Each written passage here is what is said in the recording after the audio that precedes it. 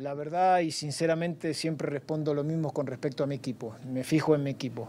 El equipo hoy se plantó en un, en un campo de juego donde sabíamos que el rival tiene muchísima influencia con el rival de turno que juega. Eh, estábamos y nos preparábamos informados para poder saber del rival y vuelvo a insistir, los chicos hicieron un papel protagonista dentro del campo de juego y ellos son los protagonistas. Mañana sé que tengo un entrenamiento donde tengo que recuperar a los jugadores y entrenar a los siguientes jugadores para que puedan competir el día viernes para tener una posibilidad el domingo. No me pongo metas lejanas. Esa es siempre mi idea y, y la considero que es lo más certero para mí.